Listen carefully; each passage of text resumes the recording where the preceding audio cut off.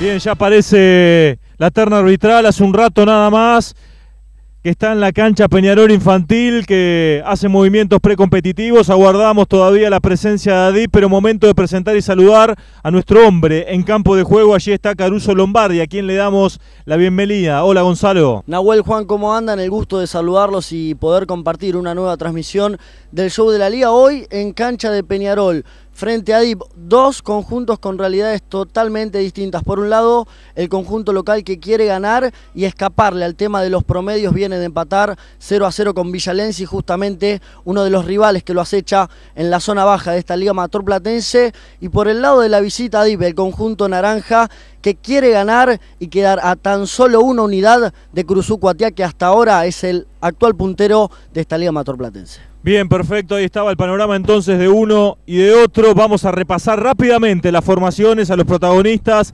Empezamos con el local, con Peñarol Infantil, que como decíamos, deambula por el fondo de la tabla de posiciones y buscará hoy los tres puntos, Caruso. ¿Cuál es la alineación entonces del equipo que dirige Laureano Franchi? Del 1 al 11, los dirigidos por el peludo Franchi, Nicolás Toschi, Franco Vano, Gabriel Simoncini, Rodrigo Cardoso, Helio Figueroa, Nicolás Carenta, Leonardo Quiró, Facundo Laime, Gabriel Cabrera, Pedro Escobar y su capitán Carlos Nadal. Ahí estaba entonces Peñarol Infantil, ahora repasamos y conocemos al Naranja al equipo de Villa Castel, el conjunto que conduce Jorge Casanueva. También del 1 al 11, Carlos Figueredo, Ricardo Alemán, Guido Cantalupo, Guido Focaccia, Marcos Pérez, su capitán Jerónimo Croce, Jerónimo Casas, Bruno Vanini, Lucas Catalano, Juan Mendicino y Mauro Benítez. Bien, ahí están entonces los 22 protagonistas. Momento también de dar a conocer a la terna arbitral, hoy vestida de rosa y de negro. El árbitro será Diego Gil junto a sus asistentes. El número uno, Matías Cabrera. El dos será Marcelo Lobazano. Y el cuarto árbitro, Gastón Cisneros. Bueno, el campo de juego Caruso me parece que luce en perfectas condiciones. Más allá de las inclemencias, de la lluvia de los últimos días, se nota bien, se nota em, que está seco por lo que uno ve desde aquí, de este sector. Sí, está apto para poder eh, jugar un poco al fútbol. Va a dar la orden Gil, se juega la fecha número 10, aquí en Somos La Plata, en el show de la liga. Pelota hacia atrás, la tiene Simoncini. Apertura para que se venga el capitán Nadal, la suelta. Para que juegue en la mitad de la cancha Escobar. Escobar hacia adelante para Cabrera. Llegaba para cortarlo Guido Focasia. Y hay salida de manos que favorece a Peñarol en territorio de Adip. La van dejando, la deja pasar Quirós, no se entendió con Nadal, la revienta, la saca lejos. Guido Focasia que juega de lateral por derecha hasta el momento Caruso Focasia se ubica ahí, ¿no? Sí. En, el fondo. Relegado en defensa, un jugador que ha sabido jugar y que sabe jugar de volante por derecha, pero hoy está de lateral. La va a tirar seguramente a la zona donde se mueve el número 7 Casas y también Catalano, larga y profunda. Toma carrera, la suelta bien larga para que vaya Focasia, caía al suelo. Va a cerrar Nadal, la tira larga para que venga a buscar esa pelota, a disputarla el número 9. Ahí va Cabrera, pelea, pierde con Alemán. Sin embargo, el rebote le va quedando a Quiroz y ya la pide Cabrera. Y va Quiroz, va a levantar centro, amaga una y otra vez. Sale Cross, se le cruza bien. Le pone el cuerpo, le gana la posición. Y hay falta ahora de Quiroz que se lamenta. No estuvo oportuno, le faltó decisión. Amagó cuando debió tirar centro porque ya entraba Cabrera perdió algunos segundos y le permitió a Croce cruzar y cortar. Sí, le ganó a pura, experiencia el zaguero de Adip, pero fue buena la salida rápida de Peñarol por el sector izquierdo. La velocidad de Quirós empieza a complicar a la última línea de Adip. Viene la pelota arriba, saltando, imponiéndose. Carenta a buscarla bien y la gana. Casas, Casas la va soltando para Mendicino, Mendicino para la joya catalana. Está el primero, desviado. Desviado se fue el remate mordido de pierna derecha catalano. Una buena triangulación de Adip en ofensiva. Se encontraron Casas y Mendicino. Habilitación para Catalano que no pudo definir. La más clara del partido la tuvo el 9 de Adip. Fue la más clara, la primera jugada en ataque de Adip de juego asociado. Apareció Mendicino, Catalano no llegó cómodo a definir, por eso el toque de derecha se fue apenas desviado por el palo zurdo, pero fue buena para el Naranja. Pelota profunda para Casas e insiste el Naranja. Viene el centro, arrastró, Catalano, ¡gol! ¡Gol!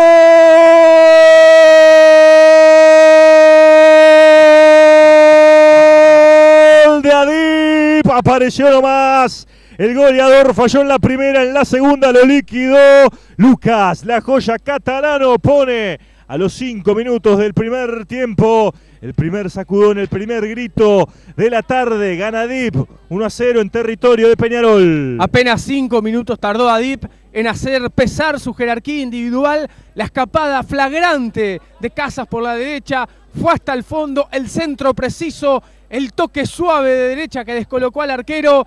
Gana Adip que había hecho poco por el juego, pero el peso específico de sus individualidades lo pone arriba en el marcador. Empieza otro partido aquí en Olmos. Y cómo lo vivió el banco de suplentes de un lado y del otro, imagino la alegría ¿no? en Adip y la frustración por el lado de Peñarol, un golpe difícil en los primeros minutos del partido. Exactamente, algarabía por parte del banco visitante, los suplentes se abrazaron y festejaron el gol de la joya catalano y brazos cruzados en el banco de Peñarol. ¿Le parece en instantes nada más repasar alternativas suplentes de Peñarol y Adip? En un rato estamos con eso. Anticipa Cabrera. Ahora el que llega es Pérez, se la va dejando a Nadal. Nadal se quiere acomodar, la suelta para Cabrera. Cabrera descarga para que se venga por aquel lado. Laine se le va a ir, finalmente llega, se estira, la controla, la suelta hacia atrás para Escobar. Anticipa Mendicino. Pegaba en el hombre de Adip, por eso hay lateral en ofensiva que favorece a Peñarol que intentará recuperarse. Ahí la maneja Escobar, la tiene el estratega. Lo espera Mendicino, apertura para que se venga. El número 4 va a levantar Cardoso. Devuelve Aleman. De cabeza hacia adelante la tira Escobar. Devuelve de cabeza. Cantalupo. La pelota viene hacia la posición de Catalano. Se deja anticipar por el hombre de Peñarol. Viene el rebote para que la lleve Nadal. Nadal la apertura para que se venga Quirós. Quirós para Nadal. Y se viene el capitán y va a levantar centro. Se desespera Pérez. Estaba y gana el número 5. Arrojándose al suelo y mandándola contra la última línea. Habrá tiro de esquina para Peñarol que soñará con esta pelota, con el empate cuando tenemos ya 7 minutos 30 del primer tiempo. Gana Dip 1 a 0. Acomoda Nadal, le va a entrar de pierna zurda, la pelota irá de adentro hacia afuera y está. Saca Pérez, bien plantado en el primer palo. A buscarla viene de manera desesperada Cardoso. La va dejando para Laile, Laile para Cardoso. Presiona a Mendicino. El balón viene hacia atrás para Escobar. Escobar para Nadal. Juega de primera para Simoncini. Lo van a acorralar al número 3. La juega rápido ahora para el número 10. La tiene Escobar. Piensa, mira, levanta la cabeza. Lo tiene a Simoncini. Simoncini lo va a buscar a Nadal. No, se frena, engancha. Retrocede Manini, retrocede toda de. Pega Manini. Recupera e intercepta el número 5, arrojándola sobre un costado. Es Helio Figueroa. Habrá lateral para Dir que ahora va a dormir un rato el juego. El arquero vestido de negro la controla sin inconvenientes. Sale de arrastrón con Cardoso. Arma la jugada Peñarol. Apertura para Laime. A marcarlo va Cantalupo. Anticipa y gana. Le queda Mendicino. Ya se mueve Cardoso también adelante. La pide Casa, se duerme. Mendicino la roba bien. Escobar se la lleva al 10. La tira larga para Quirós. No lo va a encontrar al 7. No fue preciso el pase finalmente del Aime. Por eso la salida de manos será para Adip, que como decíamos es el escolta que tiene Curuzú y también Everton, que ya se ha despedido del, torneo federal y pondrá lo mejor de aquí al final para intentar quedarse con este torneo clausura. El balón viene hacia Vanini. Vanini lo quiere encontrar a Mendicino. Le deja pasar para que corra Cantalupo. Llega, se exige, levanta centro ahora para Catalano. De cabeza y por arriba. Se fue el cabezazo de Lucas Catalano que está intratable. Se filtró entre los zagueros.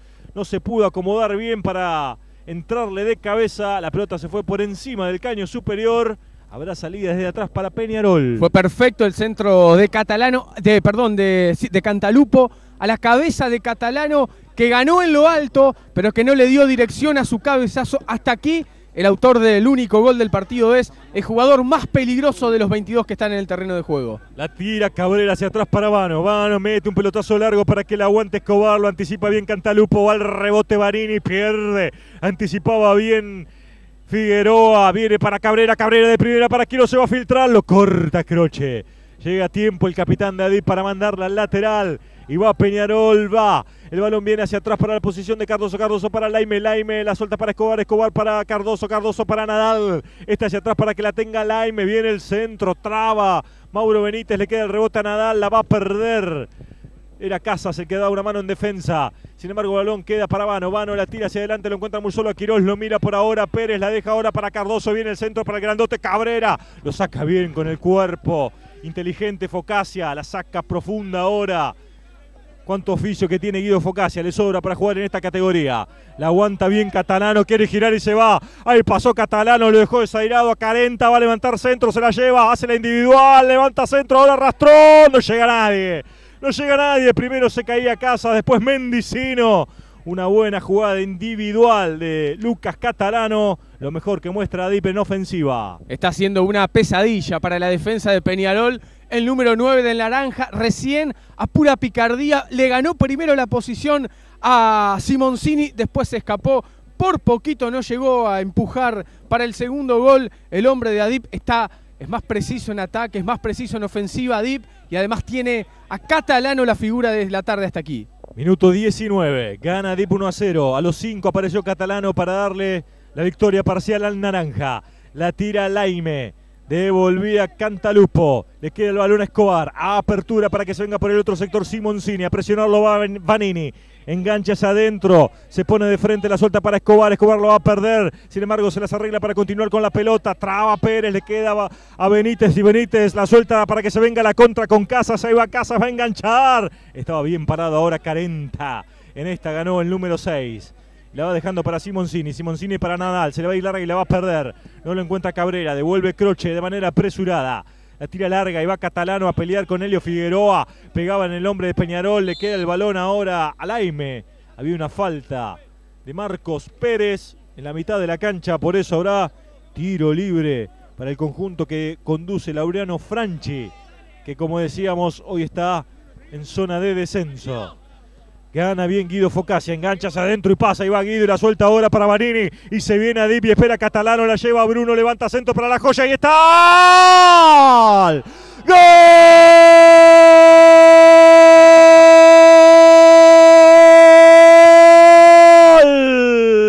Y otra vez Catalano y otra vez grita Dip, una jugada rápida a máxima precisión entre Focasia y Bruno Banini un centro envenenado al corazón del área y allí estaba, quien otro sino que el goleador Lucas La Joya catalano para gritar el segundo, para ponerlo a Dip, dos goles encima de Peñarol, gana el naranja 2 a 0 aquí en Olmos. Casi un replay del primer gol, esta vez el que se escapó no fue Casas, fue Vanini, el centro al primer palo, el toque de Catalano, gana Adip 2 a 0, empieza a justificar en naranja la capacidad ofensiva a partir del gran trabajo de Catalano, imparable, una pesadilla el número 9 de Adib, que tiene dos goles en 20 minutos y que amaga con convertirse en una tarde ideal, histórica para el 9 de Adib.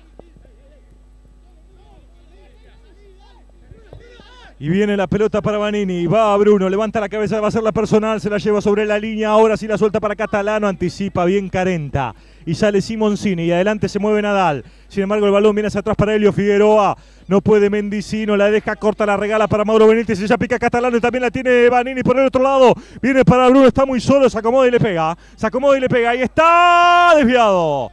Desviado, se va el remate de Bruno Vanini. Le quedó ideal para sacar el sablazo, el latigazo de derecha. No tuvo precisión, pero es un remolino en el fondo Peñarol entrega muchos espacios y la va a pasar mal si no se ordena el equipo local. Totalmente desarmada, la última línea del local. Cuando le mueve la pelota Dip de izquierda derecho, de derecha a izquierda, genera estragos. Esta vez es el que se escapó, como en la jugada del segundo gol, fue Vanini. El remate pasó cerca del travesaño. Ahí va Catalano, lo va a encarar a Vano, se mete en el área, espera, Casa, viene para él. A tiempo, Carenta la revienta.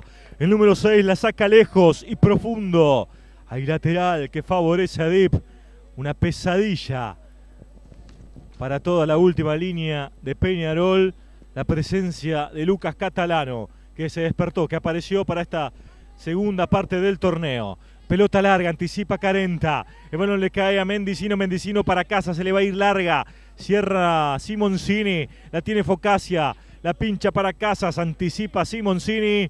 Hay lateral que favorece a Dip como lo viven los bancos, Caruso, que pasa en la zona de Laureano Franchi. ¿Cómo lo vive Casanueva? Laureano Franchi hablando junto a sus ayudantes de campo, sus asistentes, pensando cómo puede revertir este mal inicio en este primer tiempo y por el lado del conjunto visitante, mucha tranquilidad en el banco de Jorge Casanueva. La particularidad de estos casi 25 minutos de juego en los que Adip sacó dos goles de ventaja es que la visita no ataca con mucha gente, solamente le basta la capacidad de Catalano, la velocidad de Casas, las apariciones de Vanini por la derecha para generar muchísimo daño. Dos goles, un par de llegadas más.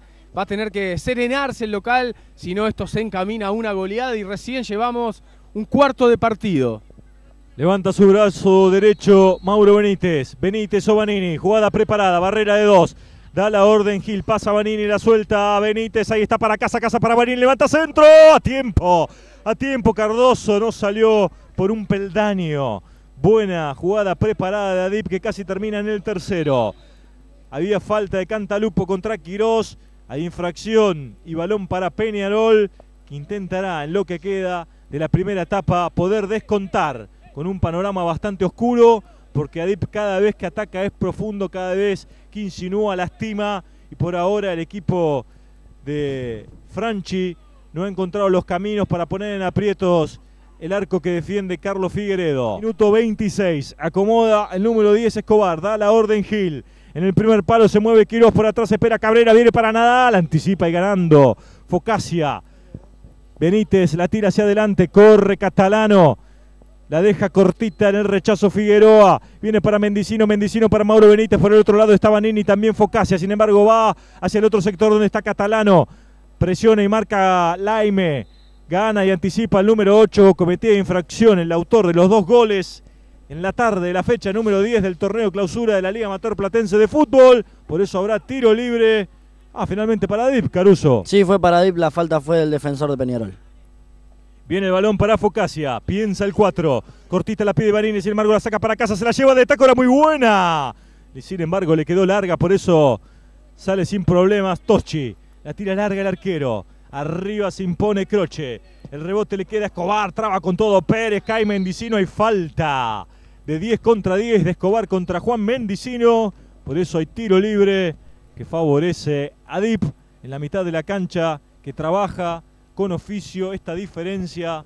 Un equipo que tiene jugadores de experiencia y que consiguió de manera inmediata una diferencia que parece irreversible, Verdín. Por lo menos si el partido sigue con esta tesitura, con un Peñarol que no tiene ideas para llegar hasta el arco de Figueredo, con un Adip aplomado en el medio y que tiene dos ardillas adelante como son Casas y Catalano, con un número 9 encendido que en 20 minutos convirtió los dos tantos de la ventaja del Naranja como visitante en esta tarde de Olmos. Engancha bien, Quirós remató desviado el número 7 tuvo que hacer la personal.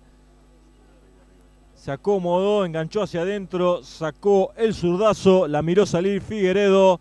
Desde atrás va a devolver Alemán. Fue el segundo remate de Peñarol al arco. Hasta ahora no le ha embocado a lo que es el arco propiamente dicho. Los dos remates se fueron afuera. Figueredo es un espectador de lujo en esta tarde de Olmos.